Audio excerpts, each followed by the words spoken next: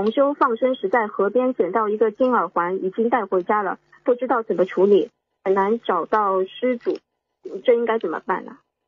现实当中的现实中的啊，这个这个这个这个没什么大问题的。金耳环当然是找不到了，找不到的话嘛，嗯，随便你喽，嗯，交工了，给别人了，捐到慈善机构了，都可以了。啊，好的，或者嘛，就是或者嘛，根据他大概多少钱给他放放生咯。因为你哦放生的话，你也是有功德的呀。你不为自己放的话，你不是说为为这个为这个掉耳环的人放呀？嗯，你不不为他掉掉耳环放，你做功德众善奉行嘛，也是对的呀。嗯，是的，感恩师傅开示。